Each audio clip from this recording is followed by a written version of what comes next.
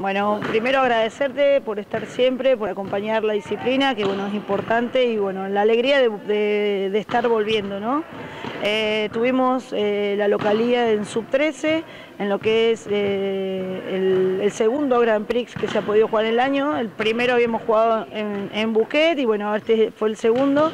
Y bueno, como decís vos, ¿no? nos tocó jugar eh, primero contra Bolense B, un equipo que bueno, es, el B, digamos, pero bueno, nos sirvió para jugar y para formarnos y para tomar confianza de nuevo ganando 2-0, jugando bien ordenaditos, que es lo que buscamos en esta categoría, que, hagan los tres pases, que, que sepan que para qué está una, para qué está la otra, para sus posiciones. Y bueno, después nos tocó jugar con un equipo muy prolijito como es Buquet, que de hecho en el primer Grand Prix allá en Buquet nos habían ganado 2-0 y bueno, nos tocó en esta oportunidad, se dio el resultado al revés, ganamos 2-0, jugando muy muy prolijo y bueno, teniendo como les dije eh, antes de empezar el partido, un incentivo muy, muy lindo y muy importante que era estar Elina Rodríguez, una jugadora olímpica fuera de la cancha, sentada acá en el escenario como una, como una espectadora más, la verdad que bueno, era un poco de presión y un poco bastante de estímulo tenerlo ahí, bueno, nos sirvió, ganamos 2-0 y se fueron todas muy contentas. Y bueno, después jugamos la final el ascenso, por el ascenso con, un equipo desastre que bueno, había descendido la,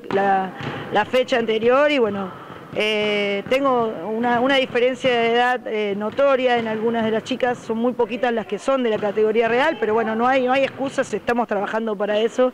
Y cuando la vieron atacar a la nena desastre un poquito más fuerte, creo que nos ganó un poco el nerviosismo. Después cuando, cuando se soltaron, la verdad que pudieron mostrar y no fue tanta la diferencia. Perdimos 2-0, pero bueno, los sets estuvieron parejitos.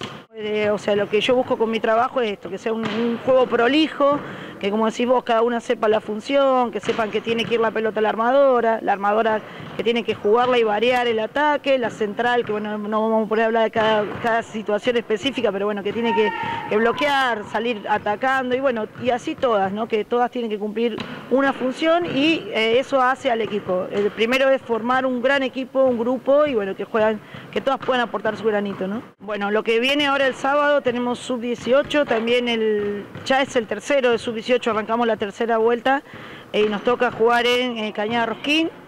Y el domingo jugamos el tercer eh, Grand Prix de Sub-12 que nos toca jugar en Sastre. Así que bueno, viene cargadita también el fin de semana y así vamos a seguir, me parece que de acá a fin de año para poder eh, por lo menos lograr hacer un torneo corto, pero donde todas puedan jugar por lo menos 6, 7 Grand Prix. Vamos a ver cómo nos dan las fechas. Bueno, el Maxi Volley en un momento me, llamaron para que les dé una mano, para que les acompañe. Estábamos en pandemia, yo dije, bueno, sí, no hay problema. Y bueno, se abrió. Y bueno, estas chicas están participando de una liga, seis caminos, que la verdad que yo no tenía conocimiento, sí sabía que estaba, pero no, no la había visto. Y bueno, fuimos el, domingo a cumplir con la segunda fecha. Está muy, muy, muy lindo, está armado, hay gente de Esperanza, hay gente de Angélica. Ahora no recuerdo bien todo, pero Rafaela también. Y bueno, la verdad que es muy, muy competitivo y bueno, ya me enganché también en esta, ¿no?